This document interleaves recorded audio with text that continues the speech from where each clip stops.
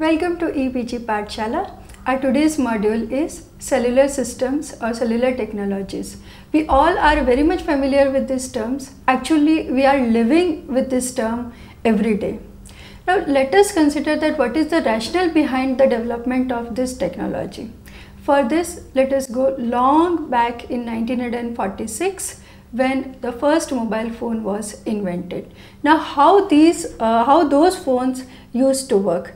There was a single high power transmitter which was used to cater all the subscribers in that particular area. Now, the problem was that the number of channels available with that high power transmitters were limited. So the capacity which could be handled by that transmitter was also limited. For example, in New York alone, there were 2000 subscribers for which only 12 channels were available. So uh, the subscribers had to wait for more than 30 minutes to get the chance to make a call. To improvise this situation, Bell Labs conceived the idea of cellular systems. What was the idea? The idea was to replace the high power transmitters with more low power transmitters. The advantage of using low power transmitters was that the range of transmitters was only up to a certain range. So the channels allocated to those transmitters could be used for some another area, hence conceiving the idea of frequency reuse. So the spectral efficiency could be increased by using the available bandwidth. More and more subscribers could uh, make the calls using those limited channels. So in this way the cellular technology was conceived. So the concept is that divide a big geographical areas into a number of geographical areas which are handled by a low power antenna. So the frequencies allocated to that uh, antenna can be reused after a certain distance. The name of those smaller units were given as cells, hence the name cellular technology and the conventional radio phones were known as cell phones. So in this module, we will be discussing the cellular systems or the cellular technologies in detail. The topics which we will be uh, covering are uh, the discussion of the cellular architecture that is the various entities include like cell, cluster, how frequency reuse is felicitated, what should be the shape and size of the cell that is which is the most appropriate shape for a, a cell of the cellular system, what sizes are better in a cellular system that is either the small cells are uh, better or the large cells are better. So all these points we will be discussing in this module. So let us start with the cellular architecture. First look at what is a cell. A cell is a basic geographical unit of a cellular system. It comprises of a small area. Now that small area is not a physical area, it is a logical area which is formed when the power of the antenna is adjusted. So it is a small area which has a low power antenna installed in the form of a unit called as base station. Now there is also a very interesting theory behind that why it is known as the base station. So I leave it as an exercise for you that find out why it is known as a base station. Now the location of base station can be at the center of the cell or in some cases it is also at the periphery of the cell. Now the radiation of the antenna on the base station is expected to be isotropic in nature. Therefore, the cells uh, which are formed should be circular in nature and hence the expected location of the antenna should be at the center of the cell, right. So, but in some situations uh, we will be discussing later in this modules also that the base stations are at the periphery of the cell. So depending on whether the base station is at the center of the cell or whether it is on the periphery of the cells, the cells are known as center excited cells or edge excited cells. Center excited cells use omnidirectional antennas and the base station is at the center of the cell. Whereas edge excited cells use directional antennas and the base station is at the periphery of the cell. The next entity or the next term is the footprint of the cell. I just discussed that the power of the antenna will be only up to a particular distance because as per the square of the distance, the strength of the signal from the antenna fades away. So it is inversely proportional to the square of the distance. Why? Because the antenna is isotropic in nature. Therefore, the uh, radiation will be spread along the sphere. So as we move away from the base station, the strength of the signal decreases. Now this reaches only up to a particular distance after that, the signal won't be identified because to be identified, the signal should be at a particular threshold value. Below it, it would be identified as noise. So that area up to which the transmission of the base station reaches is known as footprint of the cell. You can see in the figure also that the expected shape of the footprint of the cell is circular in nature owing to the isotropic nature of the radiator. Now we said that the cellular systems were conceived with the idea of frequency reuse.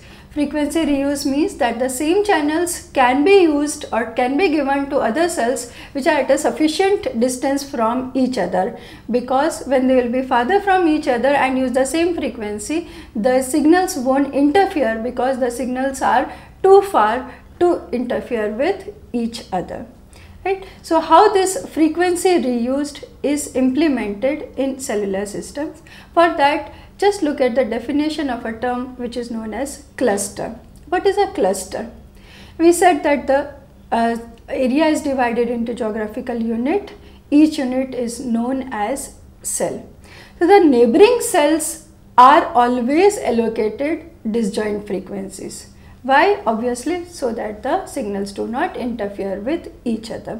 Now suppose I have a group of these cells which are allocated disjoint frequencies. So I can say that there are three groups of cells or there are five groups of cells or there are seven groups of cells to which I allocate disjoint frequencies and then they their signals won't interfere with each other. But then am I happy with this type of organization? Not at all because the number of users which would be transmitting without interference will also be confined with the number of disjoint cells. So what should be done? Again here the concept comes that the transmission of antenna reaches only to a particular distance. So what can I do is that I can give the same frequency to some other cell which is at a sufficient distance from each other. So the group of these cells which are having the disjoint frequencies or the non-overlapping frequencies is known as a cluster. And then I can repeat that cluster in a systematic way in such a way that the two cells having the same frequency are far away from each other. So the size of this cluster that is the number of cells which form the cluster can be 3, 4, 7, 9, 12, 21 and so on. Now these are not arbitrary numbers or just because uh, someone felt that this should be the size of the cluster so it is kept like this. It is not so. There is a particular approach why the size of the clusters is like this. We will just see. The common cluster sizes which are available in the uh, various technologies are like GSM uses cluster sizes as 3 and 4. CDMA uses cluster size as 1. Frequency modulation that is radio FM uses cluster size as 7 or 9. Just see in the diagram, uh, you can see that there are 4 clusters of different sizes. In the first you can see that cluster size is equal to 3 so the three disjoint frequencies have been allocated F1, F2, F3. You can also see that F1 which is being depicted in orange color. So there is some other cell also which is shown in orange color. Then again there is another cell which is shown in orange color showing that I am able to reuse this frequency for other cell. You can also see that the cluster has been systematically repeated. Second example is when the cluster size is n equal to 4. The third example when the cluster size is n equal to 7 and the fourth when the cluster size is n equal to 9. Now I am very sure that looking at these diagrams something has clicked into your mind. What is that? What should be the appropriate cluster size? Like are the small clusters uh, more beneficial or the large size clusters are more beneficial? again I am leaving it a, uh, I am leaving this as an exercise for you but I'll be answering this question in a short while for now. Now these clusters can be reused uh, can be used for frequency reused and as I said that these clusters um, if the number of cells in the cluster is C then the frequency reuse factor is 1 by C and the cells which are having the same frequencies after the repetition of cluster are known as co-channel cells. Just refer the diagram which is being shown to you. You can see that there is a cluster of size 7. Then the cells in this cluster are coded with different colors which means that they are having different frequencies. Now the co-channel cells are having the same frequencies. You can see that there is a particular distance between these co-channel cells. It has been depicted by D.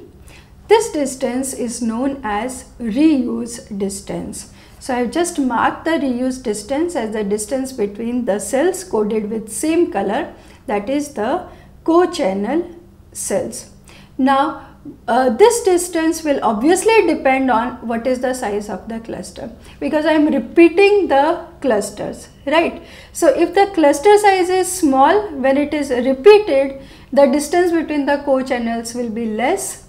When the cluster size is large when I am repeating the distance between the co-channel cells will be more.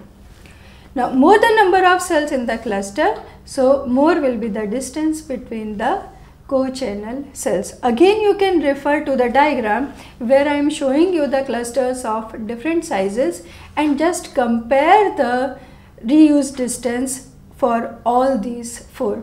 You can obviously see that when the cluster size is smallest that is n equal to 3 the distance is smallest and for n equal to 9 the distance is quite large. Now the question, I am giving you the answer for the question which I just asked that is the uh, small uh, cluster sizes beneficial or the large cluster sizes beneficial? Actually the answer to this just lies in the explanation which I gave here is that you just saw that when the cluster size is small, the reuse distance is small and the cluster size is big, the reuse distance is large. So what does this reuse distance applies? The reuse distance is depicting that these two cells are having the same frequencies. So if the distance is less, the interference would be more and if the distance is large, then the interference will be less. Why? Because now the cells are sufficient distance from each other. But again here I have uh, from the all the explanation which we, I have just given you have understood that when I am repeating the clusters, I am allowing more and more subscribers, which means that when the number of clusters increases, the spectral efficiency also increases. That is, the more and more subscribers can be catered by the cellular systems. So, more and more clusters means that the cluster size should be small because the geographical area is fixed. So the if the cluster size is small, I can have more and more clusters and can increase the capacity. But when the cluster size is large, interference is less, but the number of subscribers uh, which can be uh, catered through this system will be less. Another problem with large size cluster is that a cluster of large size, say suppose as compared to 9, I am having a cluster size of 21 now what does that imply? What is a cluster? A cluster is the group of cells with disjoint frequencies. So if the size of the cluster is more, it implies that I have to have more and more of disjoint channels. So again it demands for more number of unique channels so that the number of channels allocated to each cells will be reduced hence the capacity will be decreased.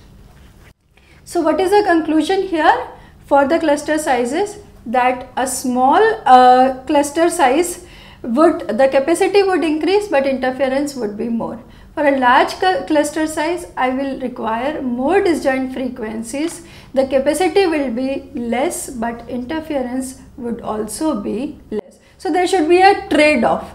So whenever the cellular companies come to a particular city to lay out their network, they decide that what should be the size of cluster. So it depends on many factors as if that what is the tele-density terrace, how many subscribers in that particular area will be requiring the uh, telephone uh, system or the cellular systems and so on. So it is uh, the trade-off is that small cluster size with minimum interference should be used.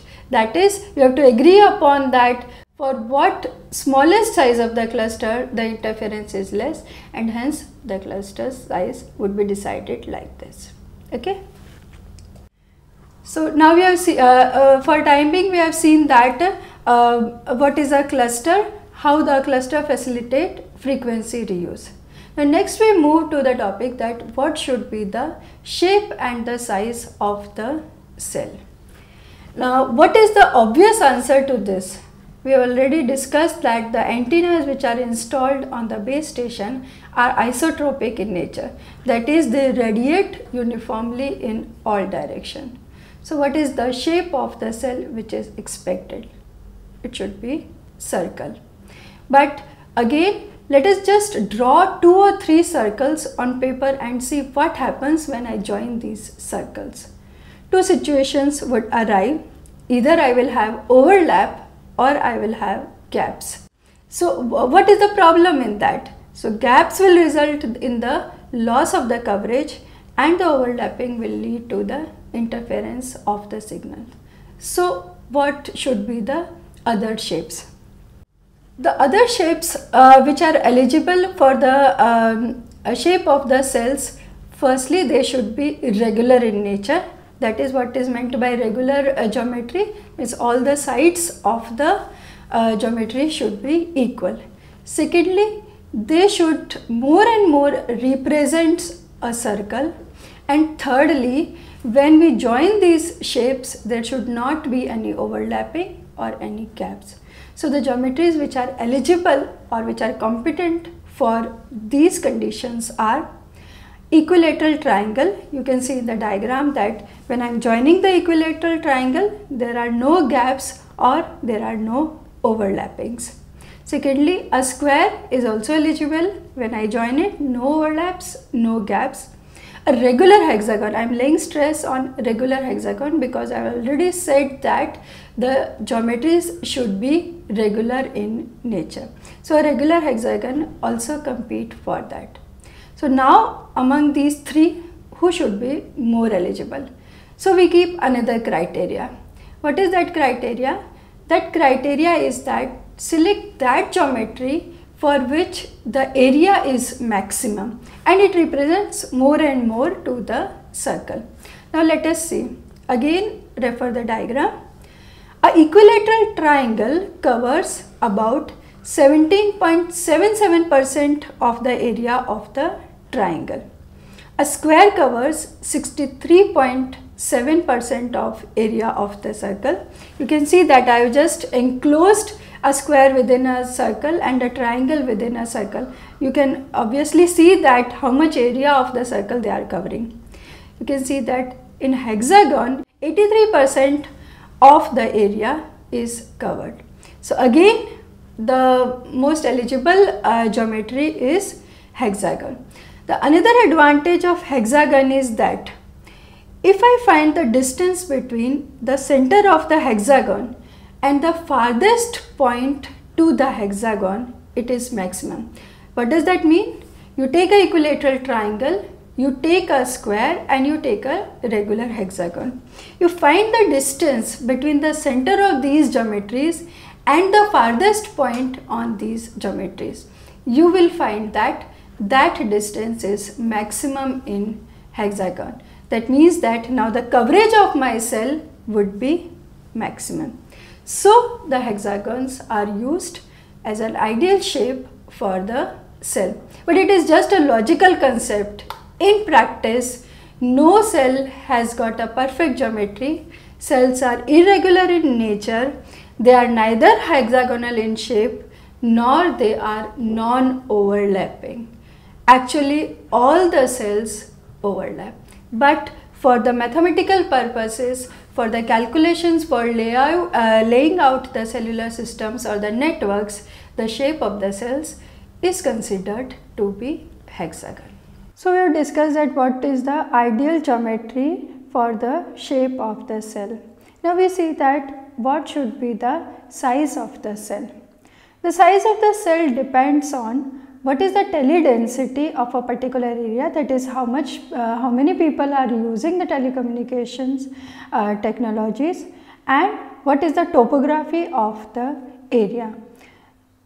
The size of the cell uh, are big in suburbs whereas small in densely populated cities. What is the reason? The reason is obvious because the small sizes cells will be large in number in a particular geographical area hence they will able to cater more and more subscribers hence the capacity will increase. So wherever the subscribers are more teledensity is more the sizes are kept to be small and more in number whereas in suburbs where the population is less the cell sizes are big. Similarly depending on the topography so where there are hilly areas or mountains where the valleys or the plain areas are between the mountains, there small small cells are being used whereas where there are plain areas one big cell can cater the whole area. So, depending on the size of the cell, the cells are divided into 5 categories macro cell, micro cell, picocell, selective cells and umbrella cell and these are differentiated on the basis of uh, their use and on the basis of their size. Macro cells are used for remote or sparsely populated areas. They cover an area of 10 km or more and they are used mostly in the suburbs of the cities. Microcells. Microcells are used in densely populated area and their diameter is less than 10 kilometers picocells. Picocells as the name indicates indicate that pico is for very small. So picocell cover very small buildings or very small areas like a valley between mountains, a tunnel, a vehicle itself can form a cell where the coverage from the large cells is not possible. So they usually handle those areas where the coverage from large cells is not possible. Next are selective cells. Selective cells are used when the coverage required is not 360 degree that is when 360 degree coverage is not required. So they are simply used to fill the gaps or holes in the coverage of a base station. Now suppose there is a large base station, it covers a large area and there are some places in that particular area where the coverage of that base station do not reach. So in that particular small area the selective cells can be deployed and their transmission may not be 360 degree in nature. Umbrella cells. Umbrella cells are used to handle many uh, microcells like for an example where a heavily uh, used road it uh, there is an area where there are lot of microcells. Now if many people are crossing that and they go from one microcell to another microcell, lots of handovers would be required. So what is done is that all these microcells are covered by one cell which is known as umbrella cell and hence when people will move within this umbrella cell, no handover would be required. So let us see that what is the advantage or limitation of using small cells. The first obvious advantage which we are again and again discussing till in the in this module is higher capacity. Huge cells allow limited number of users because they will be small in number whereas small cells can allow more users with the help of space division, frequency reuse, frequency division and frequency hopping. Small cells means more cells means higher capacity. The next is they require low power transmitter and receiver. Now the question may arise that what is the problem of increasing the power? A base station, uh, uh, base station's power can be easily adjusted. The answer is that yes, a base station can easily transmit high power so that the coverage area can be increased. But the first problem is that it will have ill effects on the people surrounding it. The second problem is that the mobile device cannot do the same they cannot afford to have a high power as base station so that their transmission can reach the base station on uplink. Power is a critical resource for mobile stations. Therefore, small cells which require only low power transmitter are more useful because the small cells require low power hence they are better. Thirdly, the interference is reduced Small cells means small distance, hence less the interference. The fourth and a very important advantage of small cell is the robustness because the small cells offers a decentralized system. That is if there is a one base station over a large uh, area, then if that base station shuts down, it will influence many people who it is providing the service to. But in the case of uh, small cell, if that area is covered by a number of small cell and if one cell or one base station of that cell fails, then other area will still be working and it will affect only a particular area. Hence the small cells offers a decentralized system. But there are also limitations of having small cell. First is small cells means more number of cells means more number of base stations and a large infrastructure will be required and a complex infrastructure to connect these base stations is also required because all these base stations are connected by a centralized system.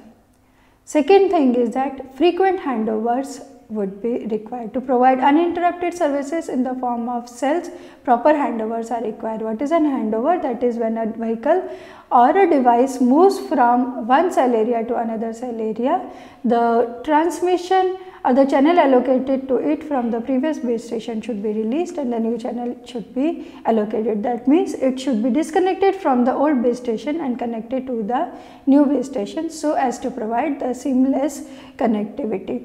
This is known as handover. So, if the cell sizes are small, more and more handovers will be required and the situation will be worst if the speed of movement of the device is more. The third disadvantage is frequency planning because smaller the cell, distribution of frequencies have to be done carefully to avoid the interference at the same time keeping in mind the scarcity of frequencies. So, we have seen that on what factor the size of the cell depend and whether small cells are beneficial or large cells are beneficial. In this module, we have seen that what is the motivation behind the development of cellular technologies. We have discussed cellular architecture in the terms of what is a cell, what types of cell are there that is the center excited cell and the edge excited cells, what is meant by footprint of the cell, what should be the shape and size of the cell? We have concluded that the shape is hexagonal in nature and the sizes should be such that the capacity is increased whereas the interference is minimum. We have also seen that what is a cluster and what is the reason of having the cluster sizes as 3, 5, 7, 9 and so on. What are adjacent cells? That is adjacent cells are assigned the disjoint frequencies.